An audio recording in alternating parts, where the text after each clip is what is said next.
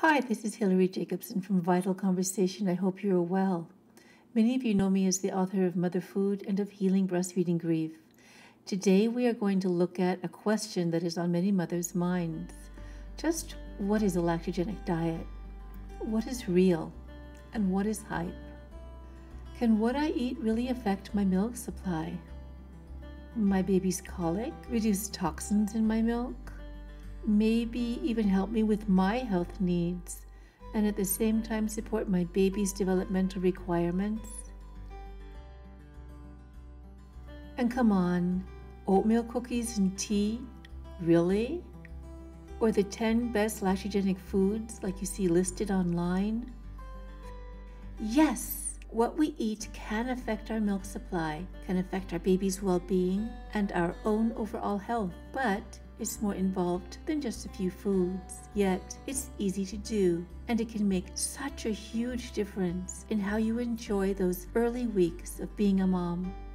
So, just what do the foods of a lactogenic diet do? They are anti inflammatory, they support detox, they are immune boosting, thyroid balancing, they support the pituitary, improve iron levels, support milk production, support your nerve and your brain health. They are antidepressant, and they support weight loss.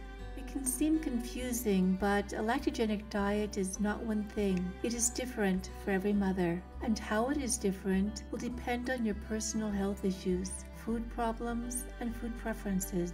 It will depend on whether you have low supply or high supply or normal supply. It will depend upon how soon after childbirth you are, and also if your baby is a preemie. Most mothers learn about the lactogenic diet only when they discover they have problems with one thing or another. But the most important time to already know about the lactogenic diet would be in the very first weeks after childbirth. That's when it can help your milk come in more quickly and fully. It can help you reduce an oversupply. And if you have a volatile supply, that means your supply is going up and down all the time, it can help even that out. It can help your baby avoid colic and GERD and allergies. For thousands of years, women have carefully monitored their diet in the early weeks after childbirth. It's really not hard to do, and it can be so worth it. You can learn about the LACT diet by taking little webinars with me online, or by reading the book, or both. If you like it, leave a like. If you like the content, please subscribe.